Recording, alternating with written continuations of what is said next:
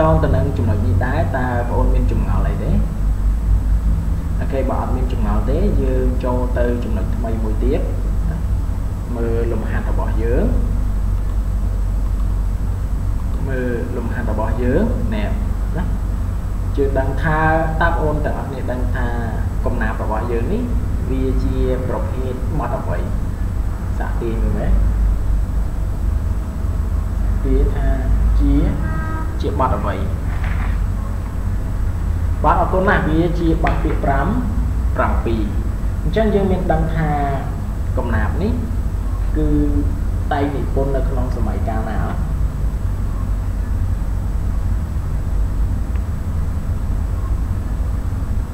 ដឹងទេតែងនិពន្ធនៅសម័យប៉ុលពតស្គាល់ប៉ុលពតទេចាស់ចាស់គាត់និយាយថាប៉ុលពត តែពាក្យផ្លូវការនោះគឺរបបកម្ពុជាប្រជាធិបធិបតេយ្យណាហ្នឹងហើយអញ្ចឹងណាគ្នាយើងសូត្រកំណាព្យហ្នឹងទៅសូត្រកំណាព្យទាំងអស់គ្នាហើយយើងធ្វើគំនូតាងណាចំណាប់ជួនផ្ទួនរំដំនិងបង្ហាញពីសញ្ញាថាអធិប្បាយទាំងអស់គ្នាគ្រូទុកពេលឲ្យបងអូនធ្វើរយៈពេល15នាទីអូ ខេតោះអញ្ចឹងឥឡូវយើងកែលំហាត់របស់យើងណាកែលំហាត់របស់យើង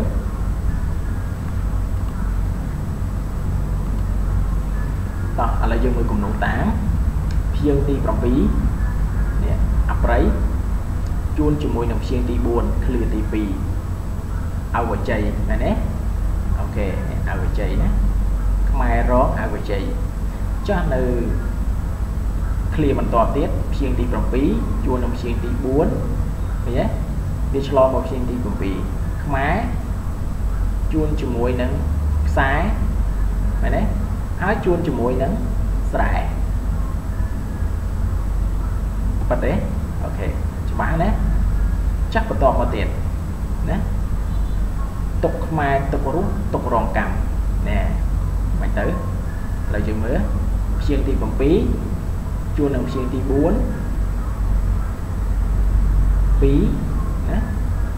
ព្យាង្គទី4អូខេវ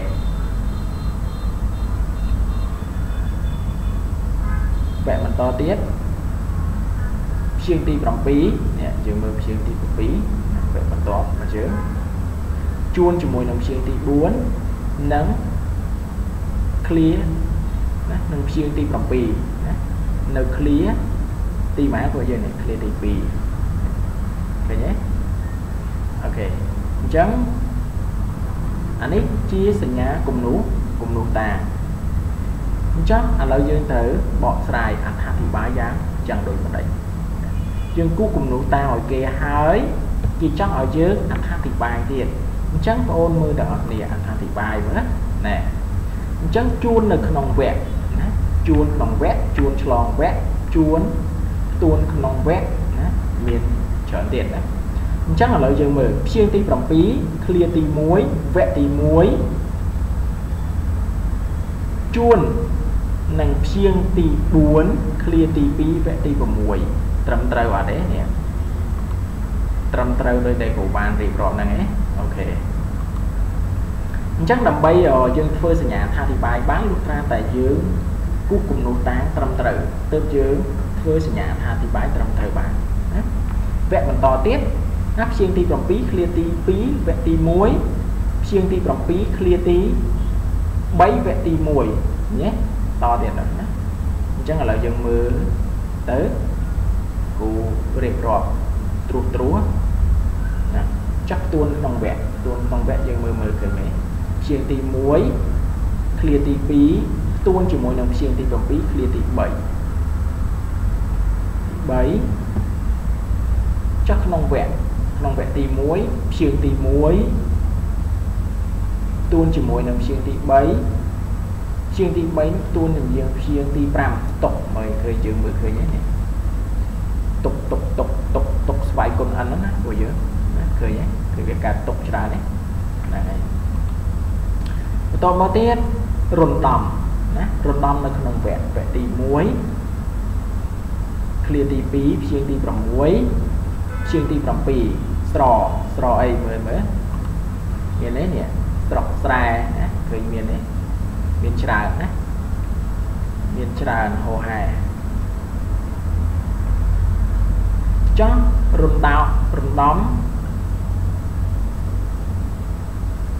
ស្រៈរំដំស្រៈ គឺគឺស្រៈឯមានទេស្រែខ្មែរខ្សែមានទេនៅក្នុងកំណាប់របស់យើងមាន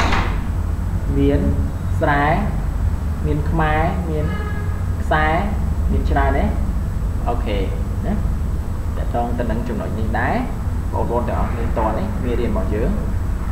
តន់ទាំងអស់គ្នាណាអញ្ចឹងបើសិនបងប្អូនមានចម្ងល់ឬក៏ចំណុចដែលមិនតន់ច្បាស់នៅត្រង់ចំណុចណាកុំសួរលោកគ្រូណា មានអីពួកយើងអូខេតន់ណាអញ្ចឹងបើតន់ទាំងអស់គ្នាហើយអត់មានចម្ងល់ទេមេរៀនរបស់យើងនេះត្រូវបានបញ្ចប់តែត្រឹមនេះឯងណាប៉ុន្តែនៅពេលដែលមេរៀនត្រូវបានបញ្ចប់នេះគឺសូមបងប្អូនទាំងអស់គ្នាសរសេរមេរៀនតាំងពីដើមរហូតដល់ចប់ណាតាំងពីដើមរហូតដល់ចប់និងធ្វើសំណួរចម្លើយលំហាត់ដែលលោកគ្រូបានកែនេះឲ្យផងដាក់នៅក្នុងសៀវភៅណា ក្នុងសៀវភៅហើយក៏លោកគ្រូមានកាដូមួយជូនសម្រាប់សប្តាហ៍ក្រោយដែរ